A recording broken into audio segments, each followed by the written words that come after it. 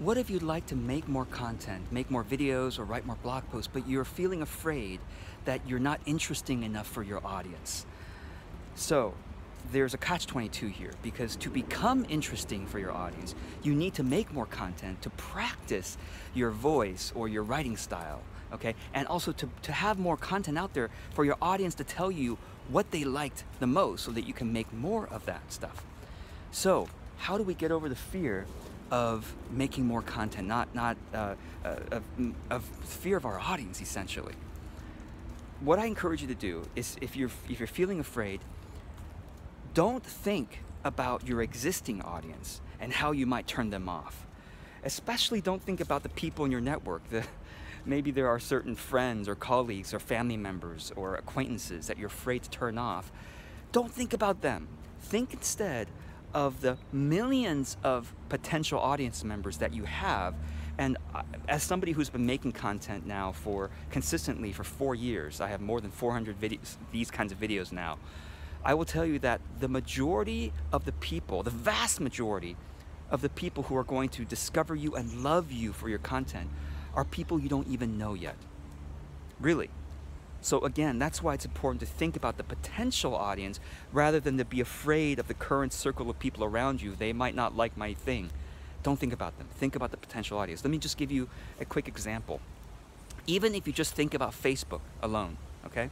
I was just searching on this before this video, and if you wanted to reach just English speaking audiences, okay, if you're watching this video, you, you probably speak English. If you want to reach English speaking audiences, just in the United States alone, that's 200 million people you could reach through Facebook, especially through Facebook ads.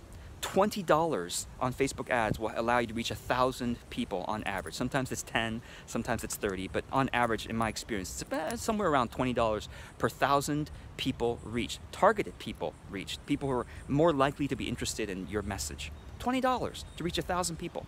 Now let me keep that going. 200 million out of, let's just say, out of 100 random English speaking adults in the world, and, and let's just put 100 random English speaking adults in a room, how many of those 100, how many people out of those 100 are going to maybe be interested in your message? Maybe 10 out of 100? Let's be really conservative and say one out of 100 random English speaking adults are going to be interested in your message. Okay, one out of 100. So just in the United States alone, that's 2 million people. And if you expand that out to the rest of the world, English speaking, that's 500 million English speaking adults in the world. 5 million of them are possibly interested in your message just on Facebook alone. Think about them when you're making your content. You're not trying to please all of them. Out of all of them, you will filter towards you the ones who are most interested in your message and in your presence okay? So don't be afraid. Don't think about your current circle. Think about the potential audience that you have who need and want your message.